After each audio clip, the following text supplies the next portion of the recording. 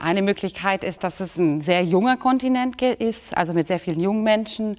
Oder auch das Klima, das natürlich sehr viel wärmer ist als in anderen Regionen der Welt. Aber bis jetzt weiß man das natürlich noch alles nicht so genau. Aber es gibt schon auch bestimmte Gründe, die sicherlich auch geholfen haben bis jetzt. Viele afrikanische Regierungen haben sehr schnell und sehr effektiv reagiert auf den, auf den Virus. Zum Beispiel in Uganda wurde schon Anfang März, äh, wurden alle Einreisende aus Ländern, wo es mehr als 100 Fälle von Corona gab, in eine zweiwöchige Quarantäne gesetzt. Also auch Leute, die aus Deutschland kamen.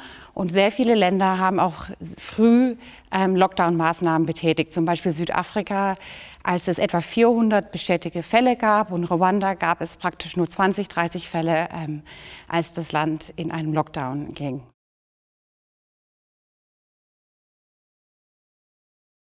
coronavirus situation has affected my, my PhD, the, the pace for which I had planned to move. I had arrived in the country to do a research in one of the in one of the cities that the lockdown was announced. And with that announcement, I was forced to relocate because I couldn't continue to stay longer there because of the finances and other repercussions.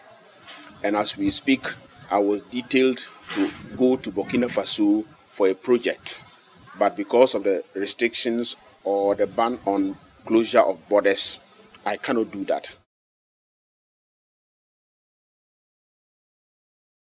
Es gibt das African Center for Disease äh, Control and Prevention, also eine Art Gesundheitsamt der Afrikanischen Union, was regelmäßige Pressekonferenzen hält, die äh, positiven Fälle und Todesfälle sammelt und auch sehr viele Schulungen für Gesundheits ähm, für Gesundheitspersonal durchführt und Testkapazitäten aufbaut. Zum Beispiel gab es Anfang Januar kein Labor in Afrika, was äh, die Möglichkeit hatte, einen Corona-Test durchzuführen. Inzwischen können es 48 von 54 Ländern selber machen.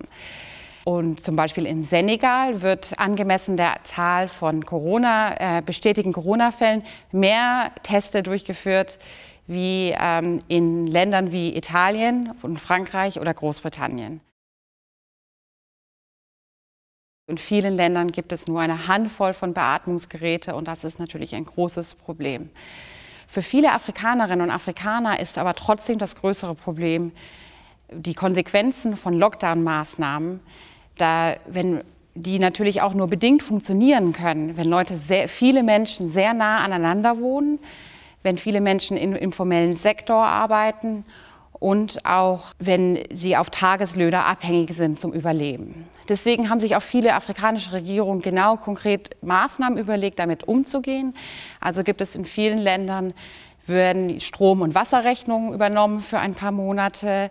Ähm, es gibt Geldtransfers für besonders bedürftige Menschen und aber auch andere Maßnahmen. Zum Beispiel in Kenia wurde eine neue Idee entwickelt, dass ähm, vor allem Künstler staatliche Gelder bekommen können, wenn sie ähm, durch ihre Kunst die Bevölkerung über Covid-19 informieren können. Assistance in terms of hot food was given daily to the affected communities, especially in areas where we noted that the poor and the vulnerable lived, and these were assisted. What is particularly worrying is that the government or our efforts is too much concentrated in the capital city or other cities of the country.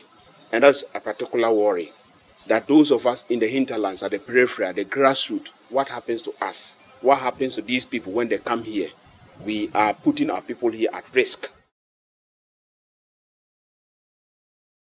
Es gibt wunderbare afrikanische Journalisten, Intellektuelle, ähm, die viel gerade über Corona schreiben und die Auswirkungen in den jeweiligen Ländern. Und es gibt ganz, ganz tolle Blogs, die die sehr schnell und frei äh, zur Verfügung stellen, so dass sich auch äh, Afrikaner auf dem Kontinent oder Afrikanerinnen auf dem Kontinent selber die auch lesen können und kommentieren und beantworten wollen. Zwei Beispiele sind zum Beispiel Africa is a Country, was natürlich ironisch gemeint ist. Das ist ein ganz wunderbarer Blog. Oder African Arguments. Also beide könnte ich sehr empfehlen zum Lesen, wenn man mehr ähm, hören will, was in, Af in Afrika passiert.